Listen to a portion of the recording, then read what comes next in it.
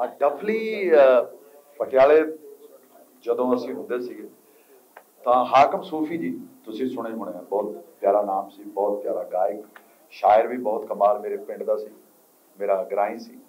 ਔਰ ਉਹ ਨਾਭਾ ਕਾਲਜ ਦੇ ਵਿੱਚ ਉਸ ਵੇਲੇ ਡਰੈਂਕ ਟੀਚਰ ਦੀ ਤਿਆਰੀ ਕਰ ਰਿਹਾ ਸੀ, ਮੈਂ ਫਿਜ਼ੀਕਲ ਟੀਚਰ ਦੀ ਤਿਆਰੀ ਕਰ ਰਿਹਾ ਸੀ। ਉਹ ਕਹਿੰਦਾ, ਯਾਰ, ਮੈਂ ਤੂੰ ਵੀ ਲੈਣੀ ਮੈਂ ਕਿਹਾ, ਚੱਲ, ਆਪਾਂ ਚੱਲਦੇ ਹਾਂ। ਨਾਗੀ ਹੁੰਦੇ ਸੀ ਉਦੋਂ। ਨਾਗੀ ਦੀਆਂ ਦੋ ਪਰਿਵਾਰ ਹੁੰਦੇ ਸੀ, ਉਦੋਂ ਇੱਕੋ ਹੀ ਹੁੰਦਾ ਸੀਗਾ, ਉਹਨਾਂ ਦੀ ਦੁਕਾਨ ਹੁੰਦੀ ਸੀ। ਉਹਦੇ ਤੇ ਜਾ ਕੇ ਅਸੀਂ ਗਏ ਤੇ ਉਹ ਆਪਣੀ ਤੁੰਬੀ ਦੇਖਣ ਲੱਗ ਗਿਆ।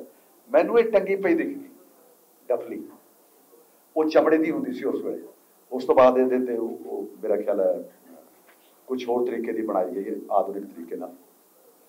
ਆ ਮੈਂ ਉਸ ਵੇਲੇ ਉਹਨੂੰ ਚੱਕਿਆ ਉੱਤੇ।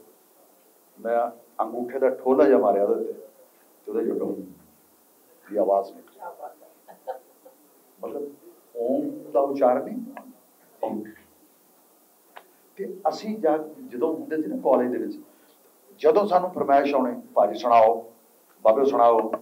ਤਾਂ ਉਹ ਸੁਣਾਉਂਦੇ ਨੂੰ ਬਈ ਲਾਈ ਬੇਕਦਰਾ ਨਾਲ ਯਾਰੀ ਕੇ ਟੁੱਟ ਗਈ ਤੜਕ ਕਰ। ਮੈਂ ਹੁਣ ਵਜਾ ਨਹੀਂ ਸਕਦਾ। ਆ ਮੇਰੇ ਅਟਣ ਅਜੇ ਤੱਕ ਵੀ ਪਿਆ ਹੋਇਆ। ਮੇਜ਼ ਵਜਾਉਂਦੇ ਹੁੰਦੇ ਸੀ। ਕਿਉਂਕਿ ਕਈ ਵਾਰੀ ਮੇਜ਼ ਸਖਤ ਹੁੰਦਾ ਸੀ। ਉਹਦੇ ਚੋਂ ਆਵਾਜ਼ ਕੱਢਣੀ ਤੇ ਜ਼ੋਰ ਦੀ ਮਾਰਨਾ ਪੈਂਦਾ ਸੀ। ਕਈ ਵਾਰੀ ਉਹ ਸੌਫਟ ਲੈਪ ਸੌਫਟ ਜਿਹੜੀ ਲੱਕੜ ਹੁੰਦੀ ਸੀ, ਉਹਦੇ ਚੋਂ ਥੋੜਾ ਜਿਹਾ ਮਾਰਨ ਵਾਲੇ ਹੁੰਦੇ ਤੇ ਇਹ ਤਾਂ ਫਿਰ ਉਹ ਚਮੜਾ ਸੀ, ਕਿਉਂਕਿ ਜਿਹੜਾ ਬਣਿਆ ਇਸੇ ਵਾਸਤੇ। ਪਹਿਲਾਂ ਮੈਂ ਮੈਂ ਬੋਲਦਾ ਲੈਂਦਾ ਬੱਕਰਾ। ਜਦੋਂ ਤੁੰਬੀ ਤੇ ਚੜ ਜਾਂਦਾ ਫਿਰ ਤੁਮ ਤੁਮ ਤੁਮ ਬੋਲਦਾ। ਮੈਂ ਮੈਂ ਬੱਕਰੇ ਦੀ ਮਾਰ ਕੇ ਤੂੰਬੇ ਖੱਲ ਮੜਾਉ। ਮੈਂ ਮੈਂ, ਮਤਲਬ ਈਗੋ।